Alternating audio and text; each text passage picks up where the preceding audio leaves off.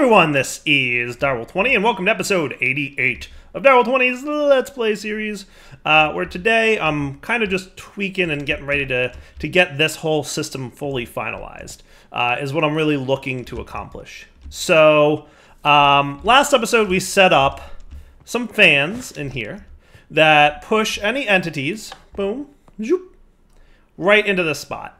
And then we set up a floating Medumone, Medumone from uh, Botania that should, in theory, prevent mobs from moving around. Uh, so we're going to experiment with that a little bit. I did place down the mana pool. I found when I logged in today, after having like closed the world and come back in, this thing was out of mana. So I don't know what the deal with his mana thing is. It was a little bit weird last episode, so we're going to play with that a little bit today. I've also prepared ahead of time some mechanical dirt ready to kind of get this stuff going. And that's kind of the reason I set up the redstone control, because I wanted to make sure that we were kind of good to go here with this, right? So let's get the mechanical dirt ready to rock. I guess what we'll do is set up a nice little basement under here. Yeah, look at that. How nice. And we should be good to go. Now, what we're totally going to want is to make sure that this stuff is ready to do its thing. So, is this redstone controllable now? I'm not entirely sure how this is going to work out, but we're going to play and see what we can come up with. Right, so you that redstone mode run with redstone signal. That's definitely what we want. Now, did that change it for all of them? It didn't. It didn't. So I'd have to go to each one of these individually and click the button because that, that seems tedious. I wish that they would connect, but I guess that they are individual blocks, so I guess they don't. Because we definitely only want this stuff running when there's a redstone signal. Because this is very much going to be turned off most of the time and turned on occasionally. Um, now, I think the fluid does go across the board, doesn't it? The fluid does spread adjacently. So that's nice, at least. It does treat it as one big fluid and um, energy tank. You know, so we don't have to worry too much about connecting power and fluid to each of these blocks. So I should be able to just pop you here, boop, and hit that, and he should fill up liquid meat here? Yes.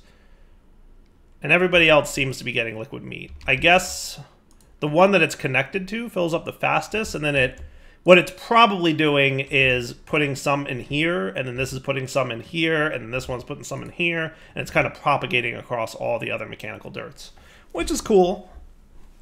Cool-ish. Uh, I'm actually not 100% sure that I like that being there, because I'm probably going to want to redstone control all of this from underneath. So if I put this here, would that be noticeable? I'm thinking no. Boop, will that work? Ish. Whoop. Nice. That's cool. All right, yeah, I like that. That looks pretty good, yeah. Uh, now we're going to need a way to get out of here.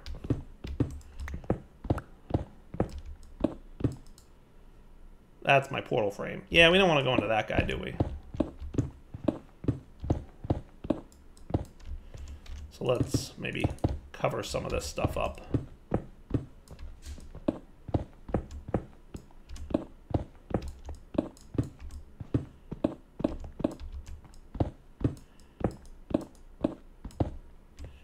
Yeah, that's not so bad. Yeah, that'll do. Okay, I like that. Nice. All right, putting away some of the junk we've accumulated. We've got a few things here that I need to organize, but we'll get there. I don't think I need half this stuff at this point. I don't think I need this portal configurator no more. All right, nice. All right, so that looks pretty solid. I like the looks of that bit. Um, let's do something with redstone control here. Uh, I'm thinking we might want to go the route uh, like we have in the past. So I think I've got my flux point ready to go. Boop, boop, and boop. That'll get power into everybody. Nice. And everybody should be sharing power now, too. Just like they share liquid meat. So it's not super fast. I'm, I'm guessing the, the, the tile entities are like probably programmed to say, is the adjacent tile entity a mechanical dirt? If so, give it some meat, give it some power. So it's not great, not terrible. Um, let's check how the lever behaves here. Now, it might be also that I've got too many of these liquid, like, I might just have too much going on here, but like, if I give you a redstone signal, are you gonna run? Yes. Are you guys running? See, nothing else is running. So that's good to know. So what I should probably do is, whatever I do, I should make it... Now, will that not let a mob spawn there because there's lever there? That might be the case, actually. There's a block in the space that the mob would spawn in. Um, yeah, that could be true. Let's do something like you. That would probably be this one moving then? Yeah, that's cool. Alright, so that, in theory, should make mobs spawn. Maybe. Does mechanical dirt require darkness? I forget. I feel like it didn't, right? I feel like it didn't. I feel like it doesn't technically require darkness.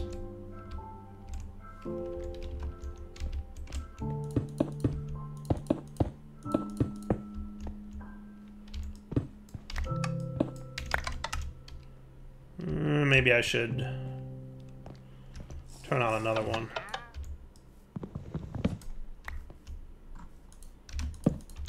Let's do the center one. How's that sound? So that should be this guy running now. Okay. And you've got liquid meat in you. You should be working. Here I was thinking, like, this would run too fast. and it's just not. Uh, part of me wants to put the rats down there, but I don't think that that'll work with the whole fan thing. Ah, uh, you know. I'm just saying. Are you gonna spawn something or what, Liquid? Like, come on, Mechanical Dirt, let's go. You're slow. This was more like, this was more meant to be a like a quick test, but now I'm thinking what I should probably do is get, you know, all the things turned on. So let's get um, XNet things going, because I think still XNet is probably your best bet. Ooh, I need a lot of red dye, don't I? Missing 108. Oof, that's rough. Luckily I've got... I mean, I do also have beet, don't I? Beets. Yeah, I've got 1.3k beets. Maybe I should just teach you that red dye. Do you have a red dye recipe? You do not. Okay, what can I do with red dye? Those things are a thing. I don't see much with beets, though. I want to find, like, a beets make a lot kind of deal. Not even milling has a beet recipe. I'm not crazy, right? Beets can totally make red dye. They can. Alright, well, I guess it's just one to one, huh?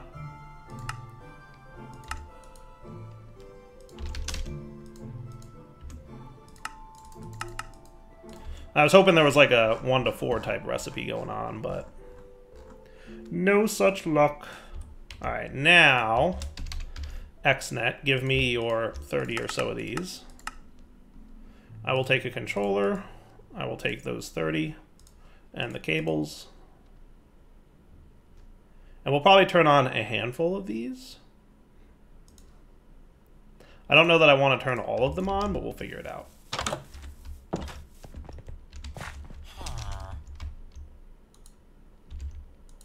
Okay. So let's come down here. I'll remove this dude. You guys are going to be connected up. I really love the wireframe model on these, by the way. That looks so cool. You know, call me a nerd, but I think it looks neat.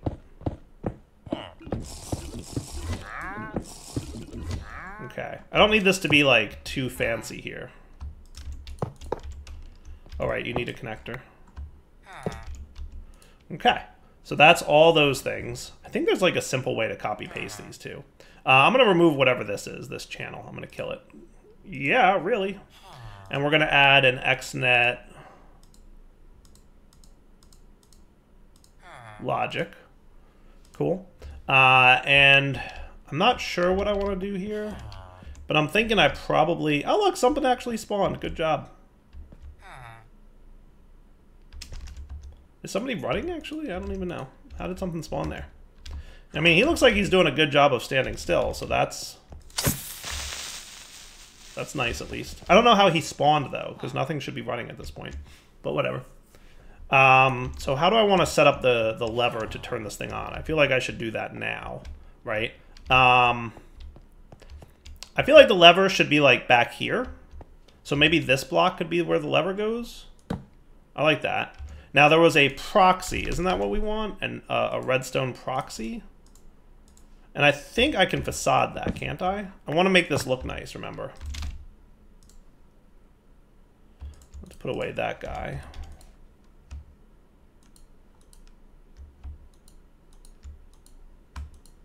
Yeah. Well, I'll play with it and see what I can come up with. Oh, hello. How are you spawning in there? Is this like just... No, it shouldn't be regular vanilla Minecraft spawning. Is anybody running?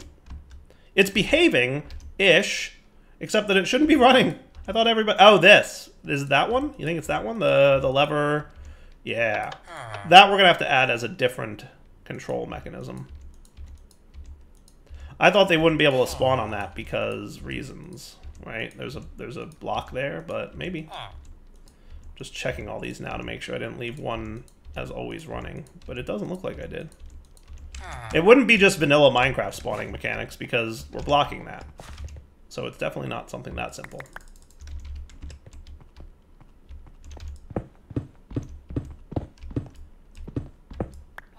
Oh. Gotta go a little bit deeper behind the walls there.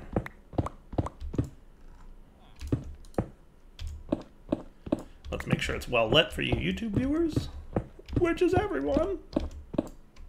And then what do I do? Just connect this or no? Yeah, I think that's... I would love it if I could do something a little bit fancier, but meh. Maybe I'm maybe I'm using the redstone proxy wrong. I'm not sure.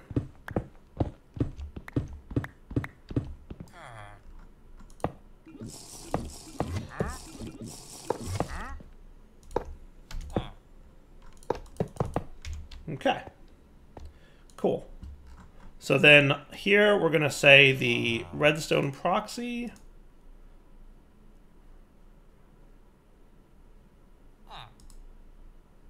Sensor mode. RS.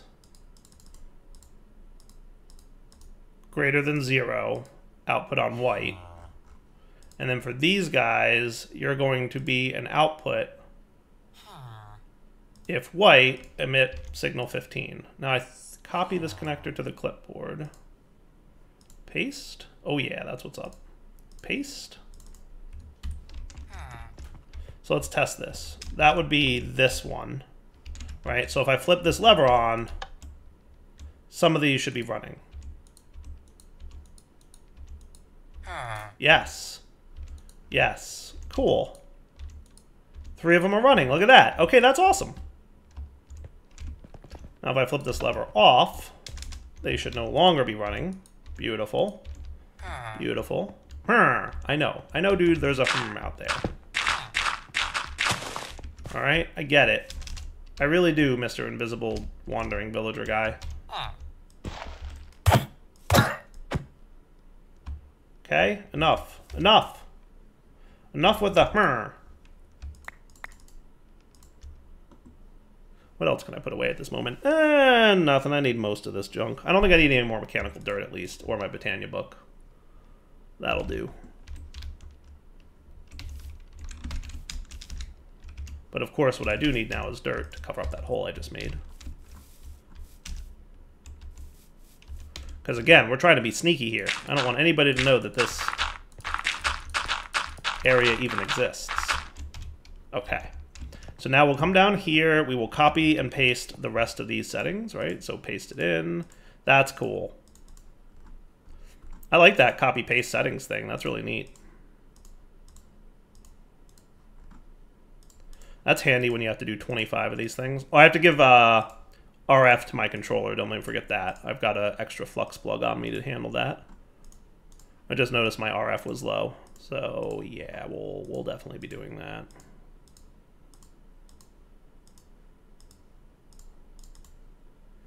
And done. Sweet. Now for you, sir.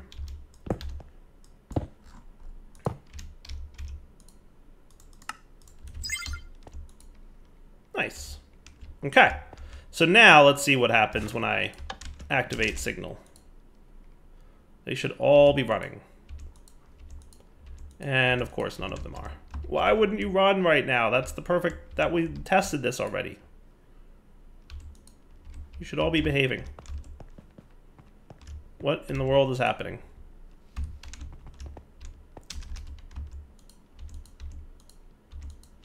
Oh, wait. These three are going, but the rest of them aren't? Huh? How is that even possible? Oh, you're a 15, but when I pasted these guys, they didn't become 15s? Oh, that's a bummer. Well, there's your problem. So what I should do right now is turn you off before you start spawning a ton of mobs. and uh, set all these guys to 15 down the line. I'll be back in a sec when I do. All right, now they should all be behaving. I guess that copy-paste mechanic doesn't copy the number across. I don't know if that's a bug or not. McJty, if you're watching, I'm sorry if I forgot to tell you. Oh boy, hold on. Things are happening. Aha, nice. Nice. All right, well that's the wrong sword. Well, that's pretty awesome, right? How did you... Okay, that's better. What I should probably do is have some kind of block thing going on there. Yeah, I like that plan. That's looking pretty good, right? That ain't bad. Alright, make with the mob spawning. Come on. You should be going faster than that. There's 25 of you in there. Let's go. Now, the other thing I should do is some kind of mob drop item collection thingy, because there's going to be a lot of mob drops here that we're going to have to deal with. Right? A lot of mob drops that we clearly need to deal with. And then we can turn you off with that. And that's... That's pretty cool. It's pretty cool. It's not as fast as I would like you to be. Um, and also I need to turn that on with the proper thing. Um, so what I should probably do is not have you tied to this.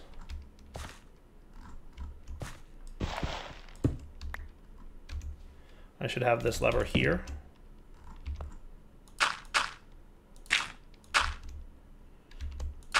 Is that accessible? Yes, it is. Nice. cool. I love it. That works pretty well. All right, and then you should not be triggering. Good. So we should have no mob spawning now. We flip the lever, we'll get mob spawns happening. Can I put those speed upgrades in this thing? Because that would be cool if I can. That might help help a little bit. Okay, good times. And that was just a test of the do creepers hurt things. Because we've got, you know, explosion protection on with FTB chunks, we don't have to worry too much about that. And that's pretty cool. Not a concern. Beautiful. Now, do you accept these speed upgrades? You kind of do. You kind of do. So if, if mob spawning is not fast enough, I could totally... Yeah, that's a lot quicker, isn't it?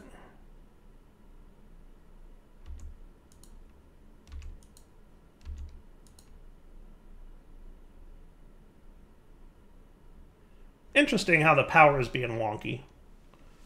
Wonder if that's going to be a problem. Shouldn't be. But I'm also, it just seems really slow, doesn't it? Five, five mechanical block, mechanical dirt blocks, and they're all, none of them running? Seems, seems a little slow. And how come one, some of them are at like 50 and some of them are at 100? I don't, I don't know what's happening now. Where all the mobs at? Spawn some mobs. Hello, there you go. Sweet. I think we got a rat. That's cool.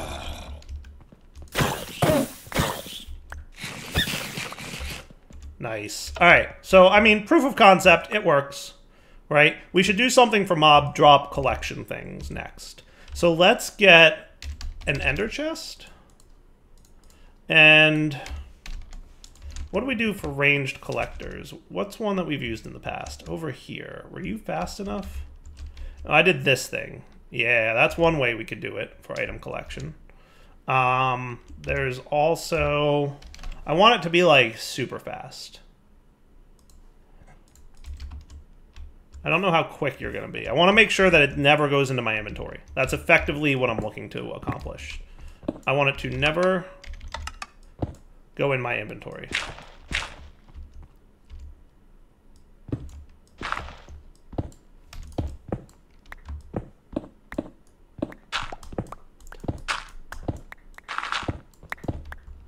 Okay, so if we were to have this guy here and this guy here,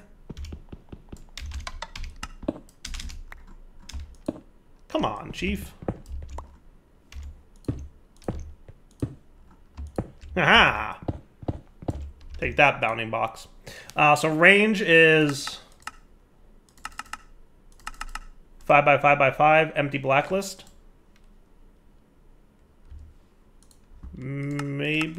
7 by 7 by 7 We'll see. So now,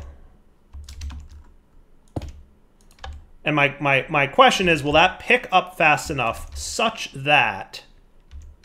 Do I, like, not have cobblestone in here or something? Like, why am I occasionally getting cobblestone in my inventory anymore? Will that be fast enough such that it will pick up the items so quick, I never get them? That's my goal.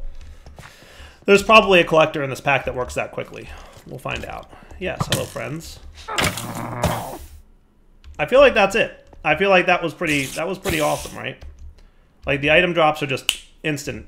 Instant pickup.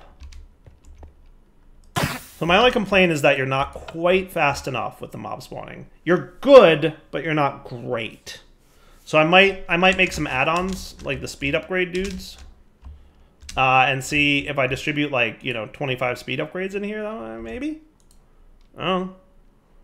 We'll see. It's hard because I want to put 25 in, and so I, like, I have to make a bunch of them before I decide if they were worth it or not. I mean, it can't hurt, so. All right, so as one more protection, now that I've actually got the mana pool here, feeding the Medumone, I want to kind of watch these zombie dudes and make sure that they never actually escape. I'm just curious, because remember last episode we were toying with this a little bit? Yeah, I definitely need to make some add-ons. Can I make, like, add-on speed tier 2? Missing glass panes? You don't know how to make glass panes? Come on, Direwolf. How's that even possible that you don't know how to make glass panes? I guess you don't know how to make glass panes. The crazy things that happen.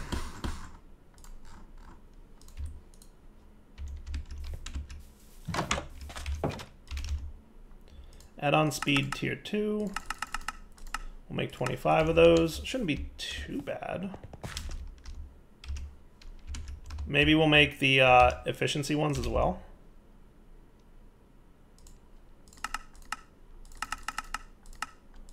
This should both be as fast as they can be, right? I mean, that's not that expensive. We've obviously got the resources for it. Maybe I'll speed this process up a little bit, just because I'm impatient at this point. Yeah, so you're doing that? No. No. We got we got a little help for you guys. Boom. That's how we do it. Look, look. he can't even keep up.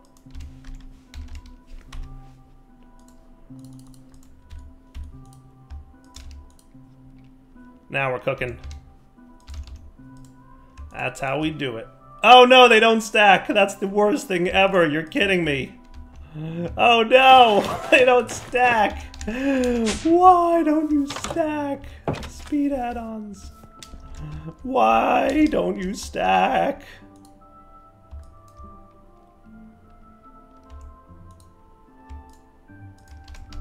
Alright, so that's going to be our test bed. I might have to populate the rest of those off camera. But that should be running a lot quicker now, right? Comparatively to that, these guys should be cooking. So if I made all those that fast, I think we'd be cool. So real quick test here. I know. Ugh, I wasn't supposed to have a creeper for that. Uh, real quick test here is if I can get one or two mobs to show up that aren't creepers, I'd like to see how long they get stuck in position. Because remember, last stream, or last episode we were messing with this, it wasn't really being powered properly, so I think the Medumone was being weird. Okay, so yeah, keep shooting me, buddy. Are you ever going to break free? Ideally, the answer is no. I think as long as he's mana powered, he looks like he's really doing a good job. Yeah, he is well, well, well locked in position.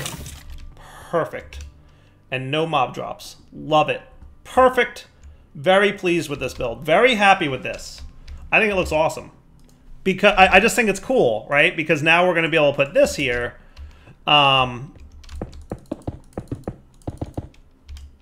and and I think that's I think that's way cooler than your traditional like put blocks around it kind of thing to prevent the mobs from getting out. Like I always hated I always hated the idea of having like a space above the altar where blocks would like or mobs would fall down and be like in a block trap kind of. Like I just think this looks cooler, right? I think that's a neat way to do it. It's, it's different. It's different. Right? There's nothing wrong with that way, but it's different and I like it. All right, so we've got the that thing spawning, we got this. So let's get back to making more runes. So I think another important task here will be to automate the blood altar. I think that would be cool. What I'd like to do is do it in an intelligible way. I'd like to make sure that the blood altar can recognize if there's enough LP in the altar before it tries to insert an item. Before it tries to insert an item. So, my question is, if we were going to use modular routers, does it have that kind of if-then functionality? Can we detect the fluid level? Is there any way to detect with modular routers um, what the fluid level is? Because if not, we might want to use a different approach. Um, modules. Modules. Detector module.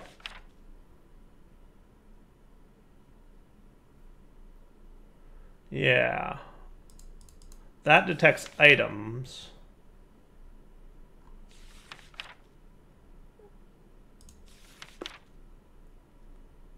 This guy can transfer fluids, kinda.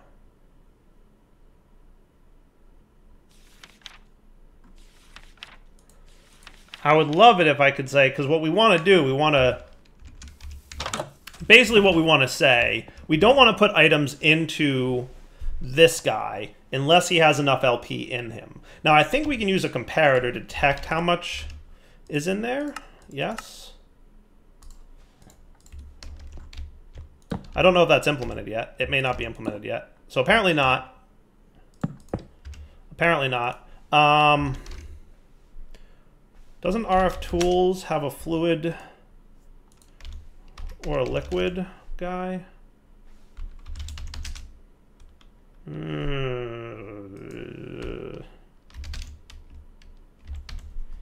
detector. So we've got player detector, we've got mob detectors.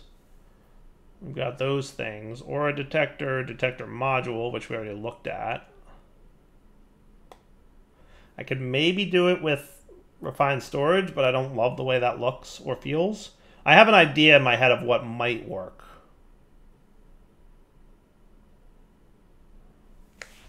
Let's just look through. Fluid. So we got like a bunch of tanks and stuff. I'm not seeing a lot here. Fluid router. Uh, fluid collector, fluid placer. I'm not seeing much by way of fluid detector. Like I'd like to measure the amount of fluid in a tank and do something with that fluid encapsulator, fluid cell frame.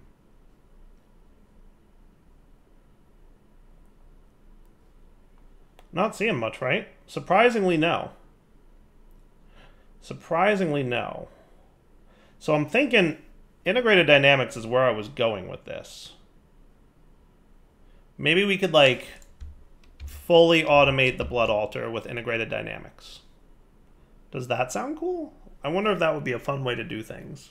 I don't think I've ever done it that way before, but we could use integrated dynamics to do detect the amount of fluid in here, detect how many items are in the in the output chest, transfer from one to the other to get to our target number of slates and all that. it might be doable. It might be a little complicated, but it might be doable. That might be your best approach with our current mod selection. Because I'm not seeing much that can measure liquid or fluid levels and output a signal based on it, right?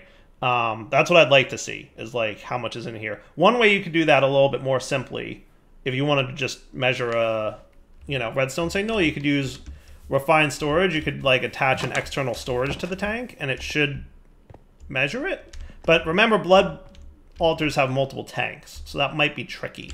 So maybe we should use integrated dynamics. That sounds like fun. I feel like integrated dynamics might be the way to go here. Yeah, I like that idea. I like that idea. Let's let's do that. So what I'm going to need is some Menril saplings, right? So step one, we need to find Menril saplings. And I don't know if it retrogens. I'm assuming it doesn't, right? So we're going to need to go somewhere new, somewhere new to find Menril. And in fairness, there's not a lot of new places. But if I went due north this direction, I could probably run into some new terrain gen, and we're going to want to find a Menril tree, right? Well, you know I should really bring with me? An axe. That would be smart. That would be super smart. If I'm going to look for trees, I should do that. Unbreaking 3? Do I have anything better? Not really. It's fine then. I might have one in my in my bag thing, but in the quantum bag. We'll find out. So let's go find a Menril tree. We'll chop it down, and then we'll get started with integrated dynamics. Because I think that might be your all-in-one mod solution for handling it. I kind of wanted to go modular routers, because I think I could hide all the modular router bits under the floor.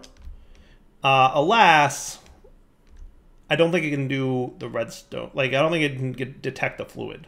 Is the problem with modular routers? I don't think it can say like only transfer this if there's you know two buckets worth of fluid in here. Maybe we'll see. We'll see. I'll, maybe I'll use some combination of the two. So like integrated dynamics to read the fluid level, and then oh wow, is this a mushroom biome? Look at that mushroom fields biome. That's cool. Where all my mushrooms at? Hey buddies, that's neat. Look, there's a mushroom biome. This may be like the first time ever in my entire life that I've actually run into a mushroom biome during a Let's Play series. Like, legit found one. That's kind of cool, right? That's kind of cool. Not exactly what I was looking for, but I'll take it.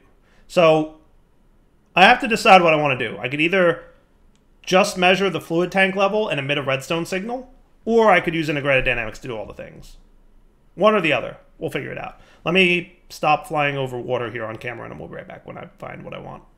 Check it out, there's two water temples right next to each other here. Found one! Menril saplings for the win. Menril Discovery. Hooray! So this is Integrated Dynamics introduction. Uh, we will obviously we're at the end of the episode here, so we'll we'll cover this more in depth uh, next episode. But this is a very extremely ridiculously powerful way to automate literally all the things. Um, if you ever don't know how to automate something, integrated dynamics is probably the answer. Um, as a result, it's also very, I mean, I don't want to say very complicated, but it's complicated, right? It's not a very simple mod to use because it doesn't only do simple things, right? You can totally do some really complex stuff with this mod. Um, so it's it's it's it's like a good catch-all solution to being able to, you know, literally if you if you're like I can't think of a good way to automate this, you could probably do it with with integrated dynamics. Really, what it comes down to. Um, so let me put. I definitely want to make sure I get a sapling here. Would be nice. Oh, good, I got two. Perfect. Then I am good. As long as we have saplings, we're cool. I'll tell you why. Because I can come over here. I can take said sapling. I can mm, you, and I can do mm, you. And aw, it takes two minutes? It's adorable, because I got some rats that have to disagree with that. Boop. Now we're cooking. Hello, Menril saplings. And that's going to get us, you know, not only Menril saplings, but like wood and sticks and everything too. So, I'm going to let that run for a little bit. We'll come back next episode. We'll get started with integrated dynamics. And in the meantime, I'm going to see if there's a simpler way for me to do this, because I definitely want to play with integrated dynamics in the series, but if I can find a simpler way to accomplish what I want to, I will. Uh, so we'll come back next time and probably do integrated dynamics. Maybe not. We'll find out. For now, Direwolf20 signing off. Hope you guys enjoyed the episode. We'll come back next time. For now, take it easy.